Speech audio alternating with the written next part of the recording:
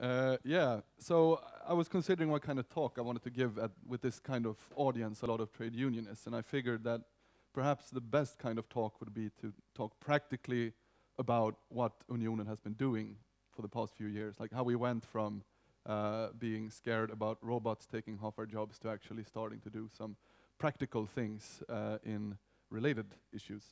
So yeah, I've been working at Unionen for uh, four and a half years. Uh, past few months, I, my job kind of changed. I'm a PhD student now, so I'm doing my PhD thesis inside of Unionen. One of the topics I'm covering is the platform economy and, like Jenny said, the, the, the diffusing boundaries of the firm, I'd say. Uh, that is one of my topics I'm going to be handling. Uh, I started working on this topic like a few months after I started, uh, and this started with the whole digital when the whole digitalization debate started to gain ground, which I usually attribute to uh, Erik Brynjolfsson and Andrew McAfee's book, The Second Machine Age, which talked about the fact that it seems that digital progress is speeding up and we are now able to solve some amazing problems a few decades ahead of when it was predicted. So self-driving cars, artificial intelligence, more, uh, yeah, this kind of stuff. I'm not going to go into detail about that. You probably heard it already. Uh, so, and about this time, uh, a paper that has already been quoted came out as well, which was uh, Carl Frey and Michael Osborne's paper about, oh, I can't remember the title of it now, but that's the one that said that half the jobs are going to disappear. And that was super interesting, I thought. Uh, and uh, they had, you know, estimates on number of US jobs. They had occupational codes for US jobs, so I'm like, I'm going to translate this into Swedish. And I was done. But one week before we were going to launch it, someone else came out with numbers, which was Stefan Fölster, and it's one of the most quoted uh, papers in this debate. I wish I worked faster. Uh, but you know, to be honest, uh, at, I mean, so the the answer to the question, like we said here, was you know lifelong learning.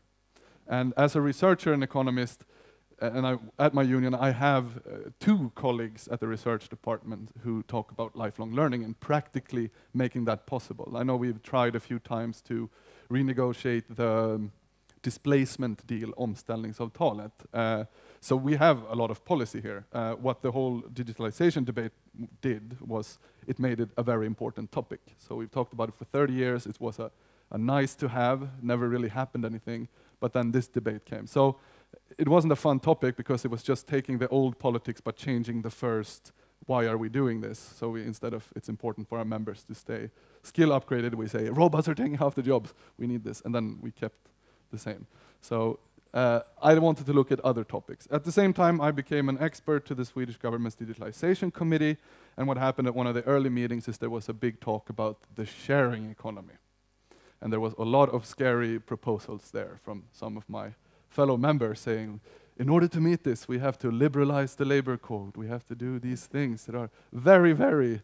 Uh, and I'm like, uh, I kind of quickly realized that my job on that committee was to say, you shouldn't make too many proposals on the labor market because that is up to the social partners or the, the negotiating partners to handle that on themselves.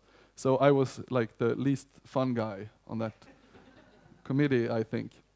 But saying this, I went back to, to Unionen and I said, but we don't have any proposals here. so my job for the next year was to actually uh, convince my union that we need to take this topic seriously and that we have to have politics on this. We have to be solution oriented. And of course, when you talked about the sharing economy, which is a term that is going away around the rest of the world, whereas in Sweden journalists keep on clinging to this word, despite the fact that the two most used examples of the sharing economy aren't sharing platforms. It's Airbnb and above all Uber. So I will talk about Uber because I think Uber is the most significant to labor here, of course. So Uber is, first of all, not a sharing platform. We all, I think, can agree on that. They don't even call themselves, well, they call themselves a ride sharing app in the US, but it's not ride sharing, it's a taxi app, to be frank. Uh, it's a platform that has scaled up very, very quickly. The company was founded in 2009, and by this summer they had facilitated 5 billion taxi trips around the world. And uh, you might know about the background, but all these taxi trips that are super cheap for some reason, uh, well, is to build up data in order to power their uh, self-driving cars for them to drive much smarter around the city. So human taxi drivers accumulate trips around major cities around the world, creating one of the most valuable databases in the world, which can be used to develop artificial intelligence that drives a self-driving vehicle, essentially. So, but Uber scaling up quickly, what they're also doing is they are scaling up and exporting US labor standards. Casualized US labor standards that Uber actually didn't invent. They were around already in the transportation industry in the US. But this essentially is a systematic misclassification of labor, falsely labeling workers as self-employed or entrepreneurs that are in fact not really negotiating their contracts. They are you know, working on prices set by someone else and uh, a coordinating position, whether it be a digital platform or a switchboard, is telling them how to work and when.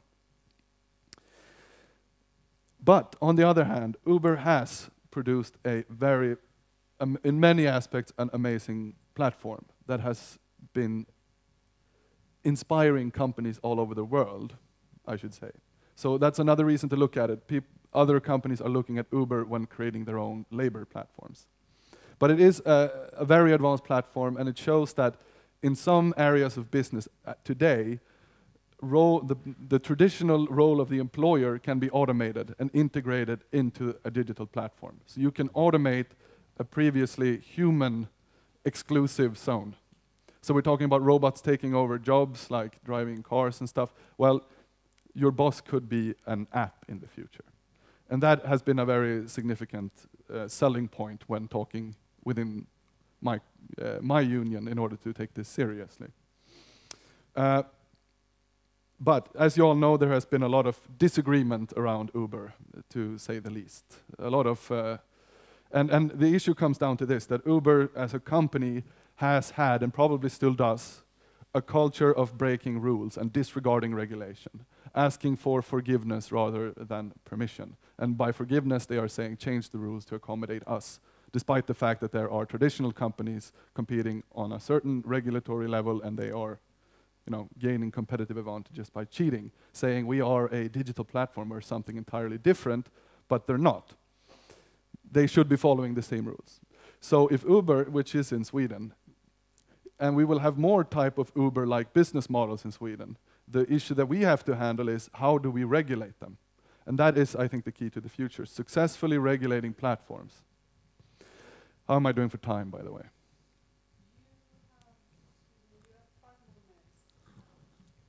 I am getting to the end.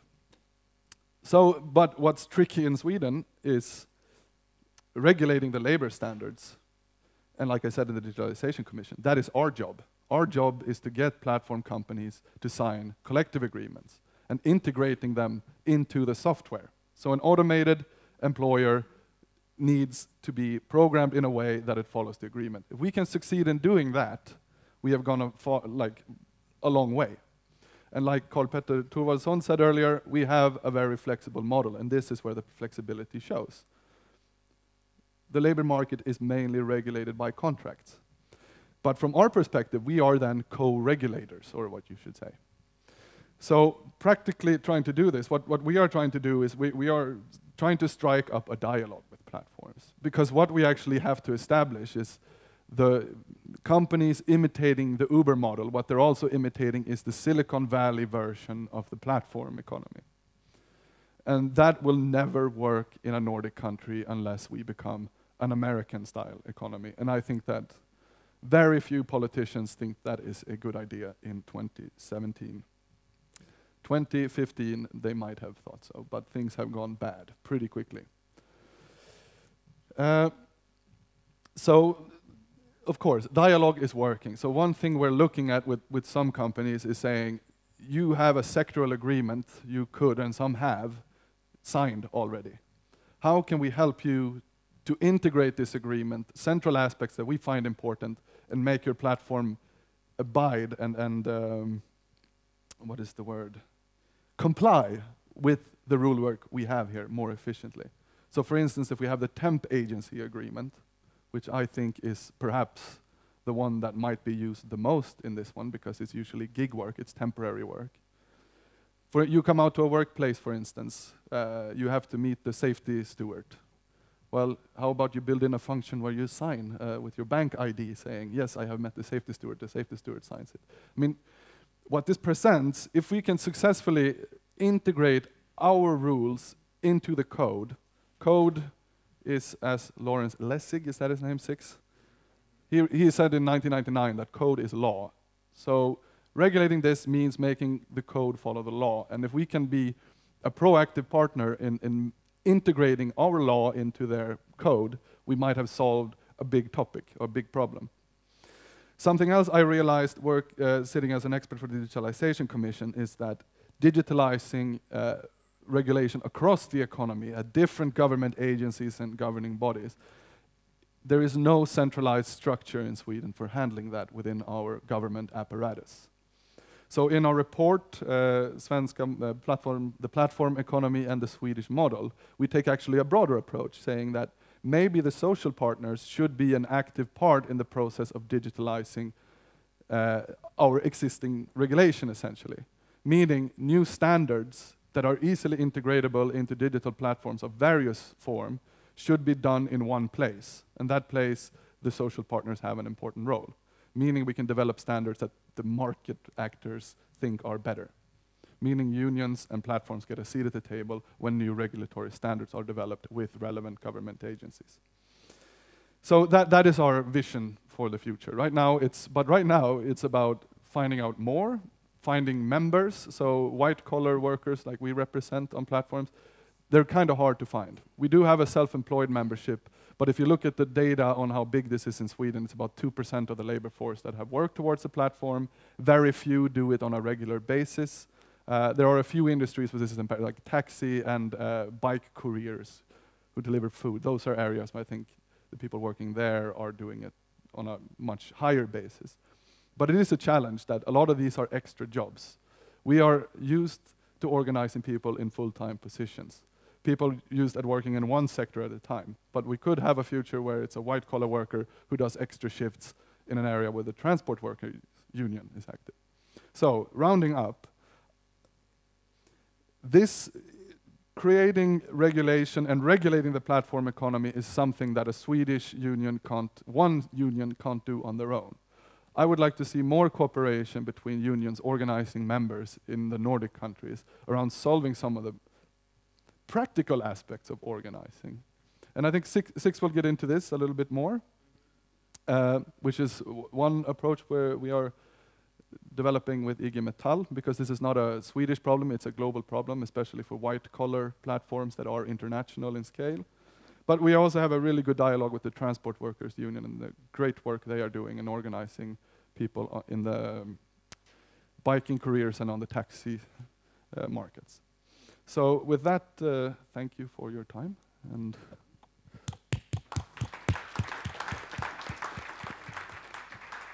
Thank you, Fredrik. Now, if, if you're not opposed to it, I would like to give the floor to Six, and then there will be uh, some minutes for questions at the end. So please note your questions so you don't forget them. We will come back to them. And uh, so thank you very much, Fredrik. And now we have our international guru from Frankfurt, IG Metall's Six Silberman, who is originally from Silicon Valley, I think. Doesn't it work, your mic? mic? Oh, you can have mine otherwise. And Six is working for IG Metall on their uh, in their um, effort or initiative to organize uh, crowd workers and platform workers and to have a dialogue with the platforms about the working conditions. Uh, yeah, yeah. Okay. So I guess I'm stuck very far away from everyone behind two tables in technical infrastructure. So that's life. Uh, how do I make this full screen? Control L is not what I want. Control no, that's not what I want either. Uh, what are the what are the Swedish language Scandinavian universe keyboard shortcuts? How do I make it full screen? That? No. That one, it's going to be this one. It's totally going to be this one. No. There. Yes, I, I should. Mm -hmm. But you are a Mm. computer scientist. Come on. I know, right? this is one thing that I learned is that uh, a lot of software is internationalized in different ways, and all the keyboard shortcuts are different. And how do we make this full screen? It's a PDF, and I think it's loaded in the browser. Yeah, that's what I tried too. Yes. Maybe it's Control Shift F. Oh, no, that was optimistic. Can I try one thing? No, that wasn't. Well, we'll just do this. That's fine. Yeah. We try all the same things. No, that's fine. I'm going to try one more thing. And then if this doesn't work, we'll just we'll just move on with our lives. Oh, I see. There's no uh, there's no Acrobat reader. Okay, that's fine. All right, we'll just. Uh, oh, that's gonna be that's gonna be unfortunate. All right.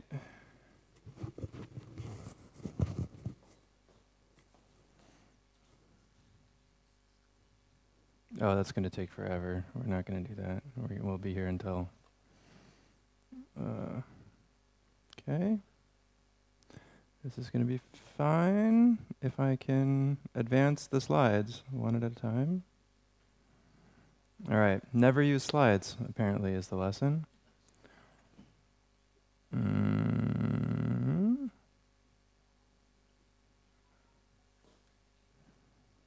Page down. How do I get page down? Page down? Oh, no, seriously? It's going to do it like that? Okay. Well, I want to be able to just advance one slide at a time, right? That's what I want to do. Wow. Is, um,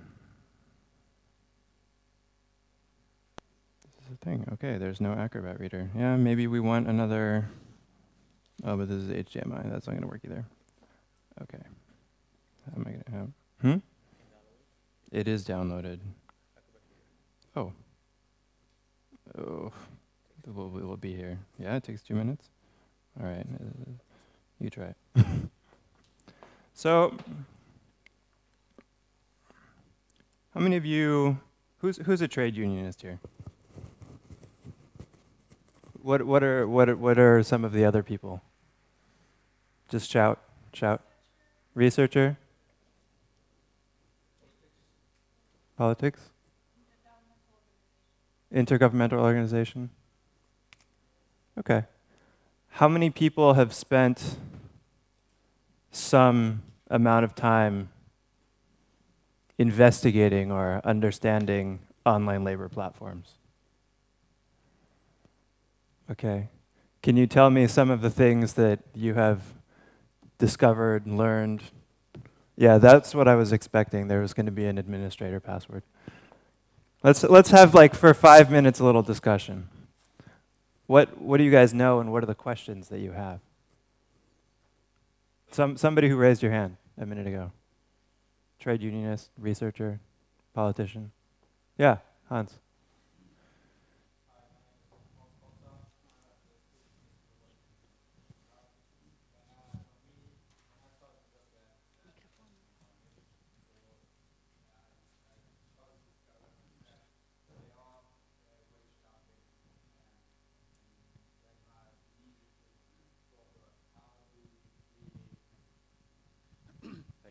How do we really try to combat? How do we try to regulate it? Is it possible to regulate it? So there were a number of questions. And secondly, the question were like, how how should we how should we try or how should we organize uh, people working uh, on the platform economy, and how how should we go on beyond the boundaries where we have, as Fredrik Fredrik said,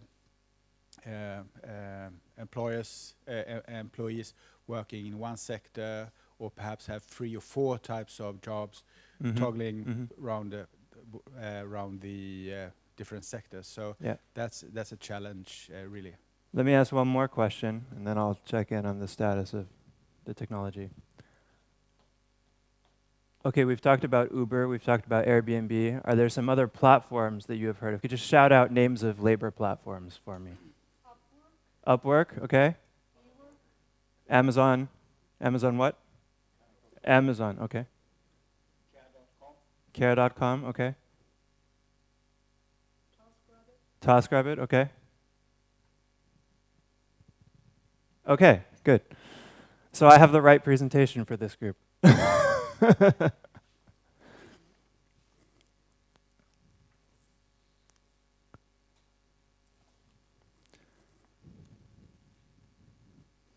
it looks like it's going to take too long, I'll just scroll down with the mouse and that's going to be how it'll be. So I work for IG Metall in Frankfurt. Who knows what IG Metall is? Okay, I don't have to explain.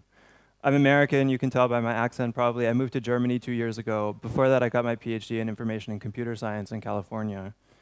Um, and I know that half of you are going to ask me at the break, you know, how did you decide to move to Germany?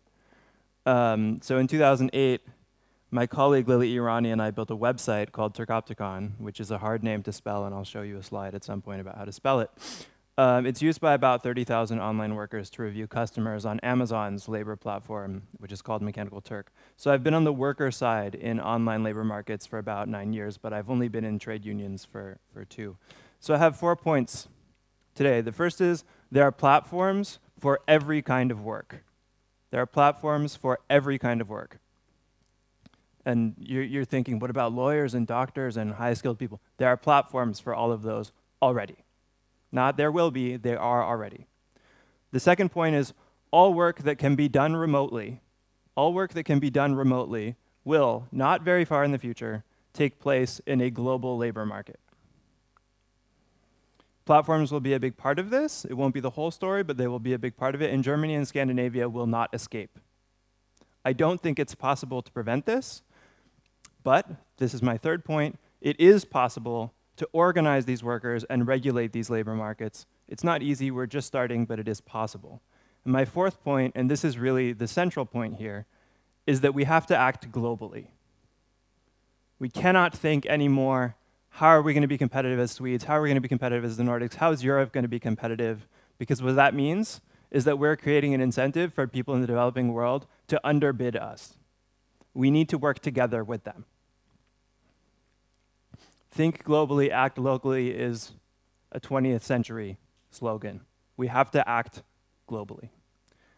So, my first point there are platforms for every kind of work. One of the oldest crowdwork platforms is Amazon's platform, Mechanical Turk.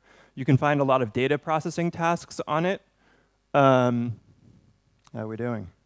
Oh, yeah, yeah, yeah. All right, so I have screenshots, but whatever. You can go to mturk.com and you can look at the tasks yourself. You can find tasks like transcribe a receipt, enter keywords for a photo, find email addresses for businesses, find a photo of a product. You can find small writing tasks like write a description for a product. So when you go to Amazon or Zalando or any of these online stores and you see these little three or four sentence descriptions of the shoes that you're going to buy or whatever, who's writing them? Mostly they're not employees anymore. They're people somewhere that have completed a task on a crowdsourcing platform. And you might think, well, these tasks seem very simple. A lot of these should probably be automatable. And I think that I'm really grateful for the speaker before who showed the picture of the, the guy on the scale with Barack Obama stepping on the scale behind him. A lot of these tasks are, are of this sort of nature where they seem very simple. Well, why is that funny? Well, it's obvious to any person with a brain who follows the news and knows who Barack Obama is. It seems very simple to us, but what's simple for computers and what's simple for humans are not the same thing. There are other platforms with similar kinds of microtasks. I'll just name some. Crowdflower is a major American platform. There's a sort of German competitor. It's called ClickWorker. Microsoft is one of their clients. You've probably never heard of them. But if you have ever used Bing, Microsoft search engine, uh, probably nobody's used Bing either, but uh, if you've used Bing, yeah, thank you. Woo! Okay, so you can take pictures of this. Uh, take a picture of that one, tweet that. Uh, you can tweet that too. Who's tweeting? Okay, you're tweeting. Okay, good. Or, or at least taking pictures. Just tell me when you're ready and I'll, I'll, I'll go. Um, ClickWorker is sort of the German microtask platform. Okay. Uh, yeah, that, I mean, that's kind of not controversial here, but I like to be positive about things. Uh, and that one, I guess without context, it's kind of kind of boring. But um, and then there are also these sort of oh, this is this is my head is the wrong shape. Um, there's sort of managed crowdsourcing platforms like CrowdGuru in Germany. So these are some tasks. We won't talk about them. Um, so these platforms let you write software that automatically posts work and checks the work that you get and decide which workers to pay. You can automate all of this. And you can even decide through software which workers will get work in the future. So this is automated management. Fredrik talked about this with Uber. We talk a lot about self-driving cars with Uber, automated drivers. I'm really glad. I think this is the first time that I've ever heard anyone talk about this at a conference. Uber has already automated management. Passengers give a rating, one to five stars, and the drivers with bad ratings get fired automatically. So what's part of Uber's business model? Part of Uber's business model is replacing 20,000 dispatchers working for local taxi companies all over the world with 1,000 programmers working in San Francisco, all working for Uber. Somebody mentioned Upwork. There are also freelance platforms where you can find more higher skilled work, engineers, writers, graphic designers, programmers, virtual assistants, project managers, accountants, lawyers. Upwork is the biggest English speaking platform. I think there are bigger ones in China, but I don't know Chinese, so. There are Swedes on Upwork. I don't know if you can see that from there. I looked for Swedes on Upwork. There's lots of Swedes on Upwork. This one? Yeah, absolutely. Yeah, you can interrupt at any time. Um, yeah, we'll do this. Can you hear it? Yeah? Okay. And, and the Swedes on Upwork, you, you can't see this from here, but they're offering, they're offering, I would say, globally competitive rates. They're all basically charging 30 US dollars an hour. I don't know, I don't know if that's a competitive wage according to your collective agreements, but we can talk about that later. This is a platform that claims that you can hire the top 3% globally of freelance talent.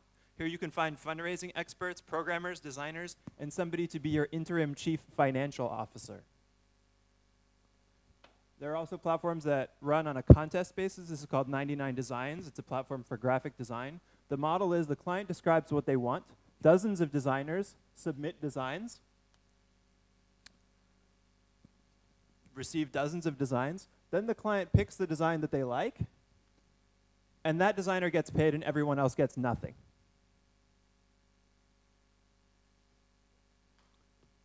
This is Local Motors. They designed a uh, platform. It's a contest-based platform for designing cars. Their crowd designed the first 3D printed electric car. Then Airbus gave them some undisclosed sum of money. Who hasn't heard of Airbus? Yeah, right. You've been, you, who, you've, you've been in their airplanes. Yeah, they make airplanes, big European company. Airbus gave them a lot of money, and then they held a contest to design a cargo drone. Right? So if you think, oh no, engineering, we're safe from crowdsourcing, think again. Software testing. This is a German company called Testbirds. They let um, their clients crowdsource different kinds of software testing, feature testing, usability, all the, it's not just like, oh, are there bugs or are there typos? It's high-skilled software testing. They have a Stockholm office. Computer scientists are also getting funded by national research agencies to study how to automate management of highly skilled tasks, like programming, software design, and filmmaking, this is a screenshot of the National Science Foundation website in the United States. They got a million, some researchers got a million and a half dollars. I, I actually knew these people. They were at the same school that I did my PhD at, in the same department. And they were figuring out how to break down software engineering into microtasks. This is a project about Flash organizations. It's about automating management of experts. The workers that were recruited to the project through the Upwork platform basically managed themselves, and the software scaffolded them to do this. Project also funded by the U.S. National Science Foundation. This is MyLittleJob. This is a freelance platform that recruits student workers so people can get used to this model very early in their working lives. They might start while they're a student working on a platform, and they might never work in a normal job with employee rights or benefits or trade union representation or a collective agreement. They might never know what those things are. I haven't mentioned any of the platforms for local services yet. Of course, Uber, Deliveroo, Foodora for restaurant delivery, TaskRabbit, and Helpling for house cleaning and household services. By the way, Airbnb has recently become a labor platform. It now has an experiences section where you can buy an experience. This is a very Silicon Valley service, such as surfing instruction or urban cycling or pottery lessons, uh, or Ohlala, which is a German platform where you can buy a date. They say it's a paid dating platform. It's a sex work platform. So the point is, platforms are not only for low-skilled work. There's different models for different kinds of work. If it can be done remotely, it can be done over a platform. If it can be done locally, it can be organized over a platform. Swedes and Germans are already doing high-skilled work over platforms, and Swedish and German clients are already outsourcing to platforms to workers both in their countries and elsewhere. If you regulate to prevent this, you create a cost advantage for foreign firms who will still sell to Swedish and German consumers. So I don't think it's possible to prevent through regulation, even if we wanted to. And I'm pleased to hear that nobody here has been suggesting that. I've said that workers can organize. How is that happening? The, most famous examples are from the local services. Deliveroo couriers in the United Kingdom went on strike last year. It was a wildcat strike because they're self-employed to pressure management not to cut their base hourly wage to zero and pay them only per delivery. The Independent Workers Union of Great Britain, which is a small unaffiliated trade union of low-wage workers, supports them. They do very interesting things like using crowdfunding to raise money because their members can't afford to pay significant membership fees. Delivery couriers have also filed claims with the employment tribunals in the UK, arguing that they are workers, which is the sort of intermediate category, which we already have in the UK. By the way, it's not a good idea. Don't do it. Uh, don't have a third category if you can avoid having one. Uh, in Berlin, the Deliveroo and Foodora couriers have held demonstrations together and presented unified demands. In Cologne, the Hospitality and Food Service Industry Union, NGG, made a collective agreement with Foodora. I don't have a screenshot for that, unfortunately. I do have a screenshot um, from Vienna. Foodora couriers started a works council with the support of the Austrian Transport Union, VIDA.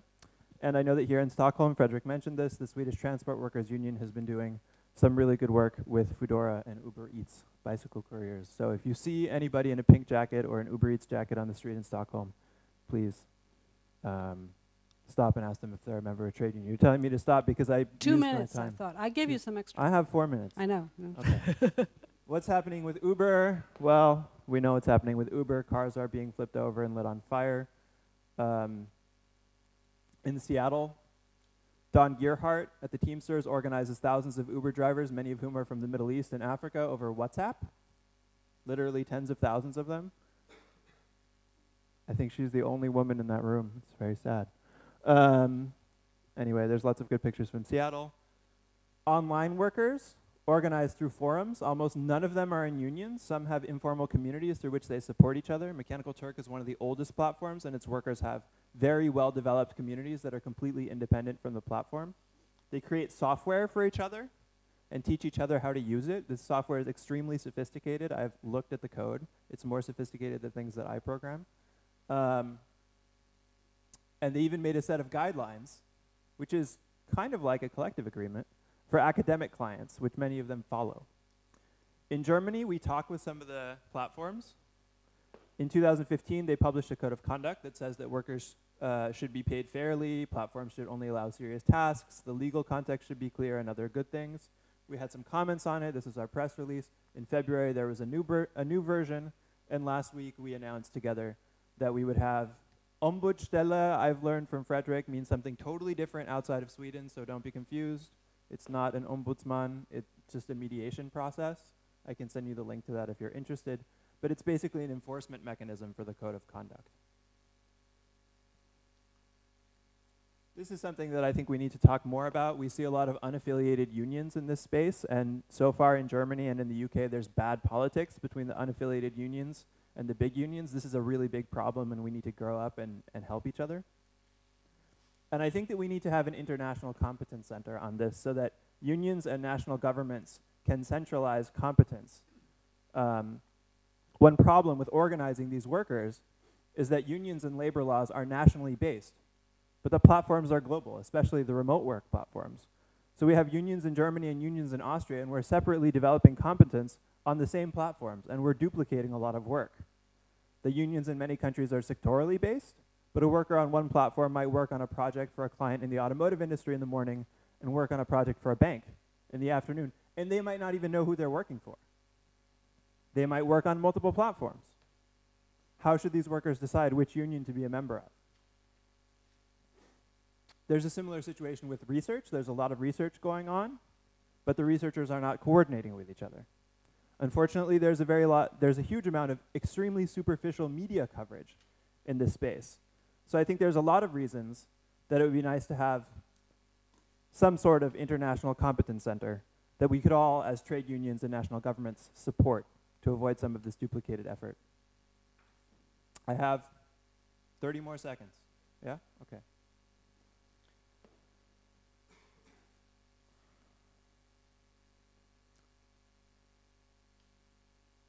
Access to the global labor market through these platforms is really good for a lot of people, not just in poor countries, but also in rich countries. People who are discriminated against in the labor market, people who live in rural areas, people who need to care for a child or an older family member and can't leave the house. But even if you go to the poorest countries and you talk to the people who are being successful in online labor markets and you ask them what they like, they might say, oh, I make so much money, but I can't turn down any tasks or I can't complain about anything on the platform because I know the minute that I do, the colleagues in some other country that makes even less money than us will take the jobs. So even the success stories, those workers are already saying that they don't have the bargaining power that they'd like to have in order to have fair working conditions. So the global platforms are not all bad, and they're not all good. But if we leave it to the platforms and to the market, things will probably not go well. If we want workers in global labor platforms to have rights, really have rights, and have bargaining power, we have to act globally. We cannot just think globally and act locally anymore. Personally, I think this means creating new institutions, or at least new initiatives with a global mandate, but maybe you'll have some ideas. Thank you. Thank you. Thank you, Six, very interesting. I'm sorry about the technical problems. Now I would like to have Six and Fredrik together up here because we are here today representatives of Nordic unions, most of us, and we are very proud of the Nordic model where the social partners speak to one another, make agreements. We don't want the EU to interfere in our labor laws or our industrial relations. Uh, we want to keep it this way, at least uh, that's what I read of the context. But the companies are global, the platforms are global, and a Swedish engineer or a technician can easily be replaced by a technician in India if it comes to you know work that can be sent over the globe digitally. What future do you see for the Nordic model? Is this has it come to an end with this? Well, should we let Fredrik start? Maybe is my microphone on? Yeah. Okay. Now it's on. Uh, well, like some of the previous speakers said in the first interventions, that there's a growing interest internationally for how we handle our labor market. The fact that we self-regulate it, and that institutions have been built around supporting that, where the partners work out the rules of play themselves. Um, and looking at and the prospect of an international labor market, well, which governing body should step in in case we fail? There is no such governing body today. I'm sorry if the ILO doesn't think that, but uh, uh, there's nothing to enforce it. Uh, but what we see with, with globally scaling platforms, um, if we could tap into that type of thinking and start thinking globally around organizing and bargaining collectively internationally. Maybe we have a future of a Swedish model that's actually scalable. Uh, that's a very theoretical answer, and it, maybe it's not realistic, but what's the option? I, I can see that, but, but a global framework, I, I mean, for instance, the cost of living in Sweden is much higher than living in Bangladesh, so most probably an engineer from Bangladesh would demand less pay than a Swedish one. But that's the same problem we've had for 60 years. Low-skilled jobs move Mm. to low cost countries. Mhm. And we've managed to keep up anyways because the high skilled jobs are here because we have a system in place that makes sure that when our members are laid off, they can be reskilled and move on to more productive sectors in the economy. But that's also one of the problems when you say our members, because we all also have this problem with reaching out to the people. And, and one of my questions to Six would be, uh, you have been in charge of this IG Metall initiative, faircrowdwork.org, which aims to organizing people on platforms. And I would like to hear, is it a success? Will it be? Will it be a success? How do you look upon the, the possibilities, really? I mean, of course, we must try. But uh, what's your experience? So I'll talk about our work generally, not faircrowdwork.org is a website. Mm. It's not an initiative, it's a website. Our initiative is that we have dialogue with the platforms and workers, and the website is a place where we put some words and pictures. We don't reach out to the workers through the website. That doesn't work. Mhm. That was never going to work. That was an idea that some of my bosses had before I got there, and I said, no, the website is a place where we can talk to journalists, policymakers, and other trade unionists. Workers do not go out of their way to go to a website that they've never heard of that's operated by an organization that they don't think has any relevance for them. If you ask anyone in Germany outside the trade union sector, what is IG Metall, they'll say, oh, red flags on the street, Volkswagen, this kind of stuff. They don't, it has nothing to do with me as a crowd worker or as a high skilled digital person until you talk to them and say, oh, well, you know, like actually half of the tasks that you're doing are being crowdsourced by companies in our sector. And they're like, oh, I didn't know that. It was like, yeah, well, because they protect their identities. Um, so let's just be clear about that. The website is not a solution. Um, it's absolutely possible to reach out to crowd workers. There's, you know, 10 different ways that you can reach out to crowd workers, and this is knowledge that we're trying to move uh, out into other trade unions. Uh, getting in touch with them is not a problem. Mhm.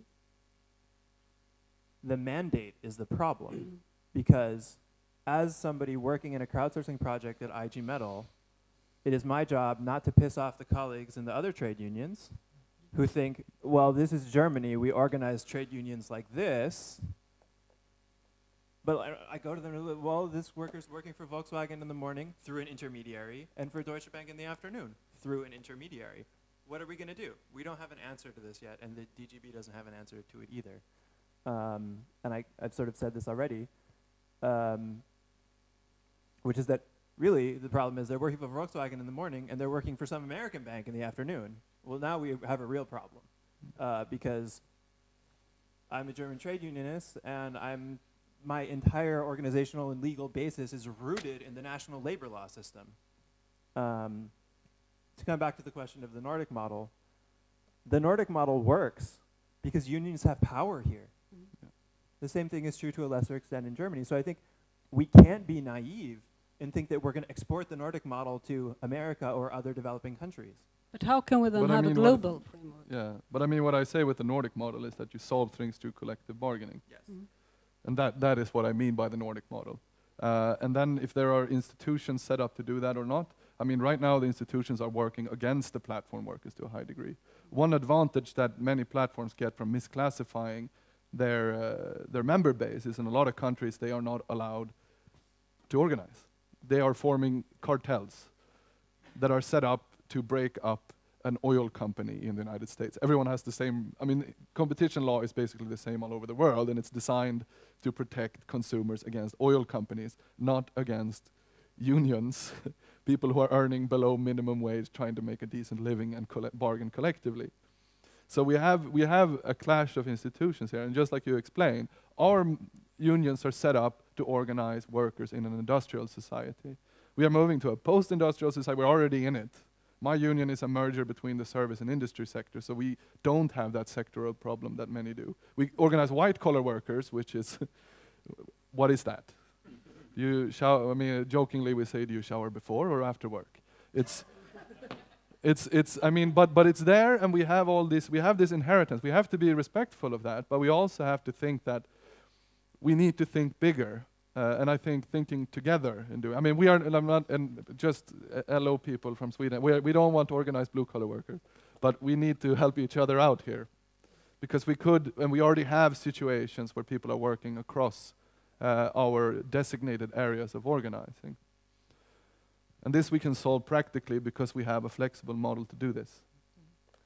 Please, questions from the audience? Do you have any? Yes?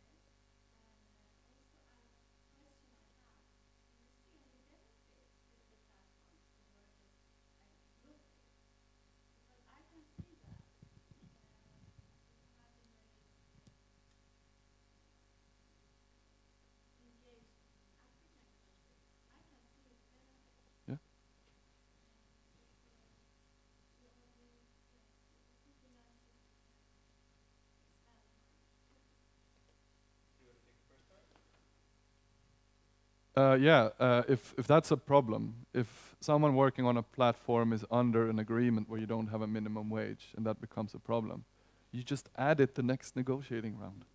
That's the thing. If you, I mean, we, we have that, we have on many agreements we don't have a minimum wage, but that's probably because we realized that this particular sector, it, we don't require it because it's high skilled people are able to get a good entry wage anyways.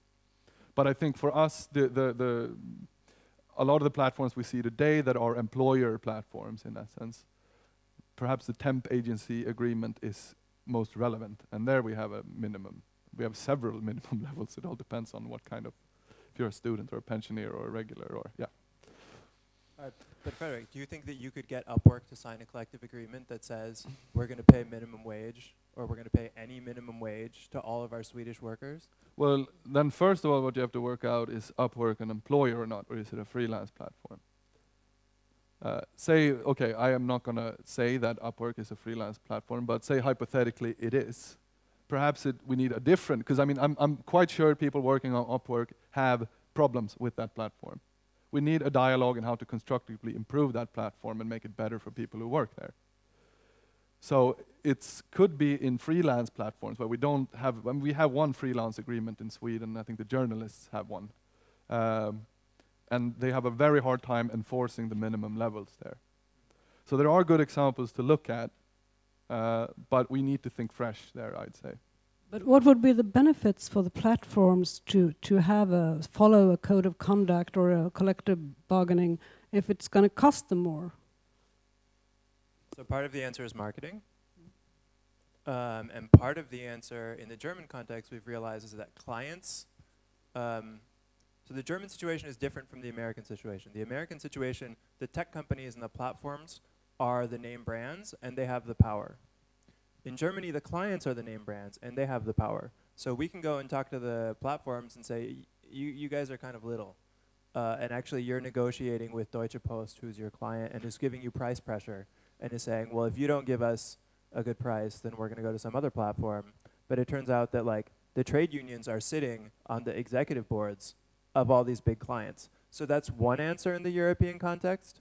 Um, what's the incentive for a big platform like Amazon, at some point you have to, that's when the regulator has to step in, right? Because there's, there's nothing you can do to make Jeff Bezos want to be socially responsible. He doesn't want to be, you need to use the law.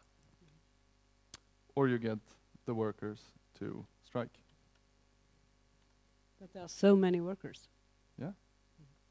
It's a communication problem. That's what these mm -hmm. devices are for, right? Mm -hmm. um, to come back to the question from the Swedish colleague, about African workers, for example. Um, yeah, they can make tons of money. They make huge amounts of money, even compared to um, highly skilled jobs that they can find in their local labor markets. Um, time flexibility is totally oversold. They do not have time flexibility. Uh, they need to be awake when the employers are awake. So if you talk to colleagues working on the platforms in India or Bangladesh or Indonesia, they're working nights. uh, and they might be working nights on the platforms in addition to a main job where they're sitting in an office during the day or doing something else. Um, so yeah, absolutely, they're making huge amounts of money. Any other question? Then just a, a- a last remark. In 20 years, what is the Nordic labor model?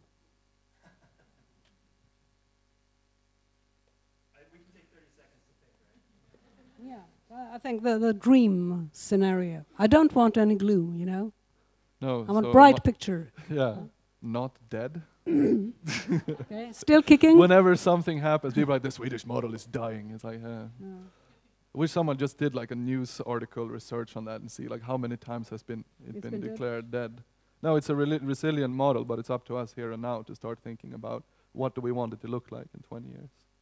I, I've always looked upon the Swedish model also like a kind of unique selling point where the social welfare, the unions, the possibility to influence at the workplace makes people want to be creative and innovative and uh, makes us collaborate and share information and, and do great work. But somewhere, I don't want to say that Nordics are smarter than everybody else and doing better jobs.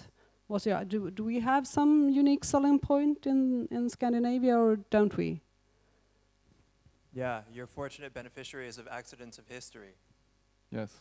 Oh, and exploiting colonies. Mm. Just like everyone else in Europe and North America. Mm. I will say one thing in response to your uh, previous question, though. What is the what is the future of the Nordic model? As somebody outside of the Nordics, uh, in all of my incarnations, um, I think there's two answers to that. One is yes, that we need to develop social dialogue at a global level. Whether that looks like collective bargaining or not, well, I don't think so, because there's not going to be an international or, or global framework that's going to legitimize actors to create global collective agreements, except for the sort of IFA stuff, which, whatever. I don't, I don't have high hopes for it. Um, but I do think that we're gonna. I, th- I think we're gonna develop. We're gonna develop social dialogue at a global level with some of these platforms, and some of them are gonna have to be forced using legal strategies to come to the table, and we'll find ways to do that. Um, and I think the the longer view, and you said 20 years. This might be a little bit longer than that, but I think it's the right time frame. Which is that I do think that we need to start to develop concepts and conversation, literally sentences and words that are not competitiveness, innovation, new technology, increased productivity. I come from America. We've worshipped those things for decades, and you have all seen how well that goes. Right? I mean, so many European trade unionists and policymakers have gone to Silicon Valley to make study trips, and they're like, oh, yeah, we have to do it like this. I'm like, how many homeless people did you step over in the mission? That's what you want? Not really. Right. Well, thank you very much. Very interesting discussion. And now there is there will be lunch on the balcony, and we will get started again at a quar- quarter past one. And please be on time because we have panelists this afternoon who need to get going after their appearance.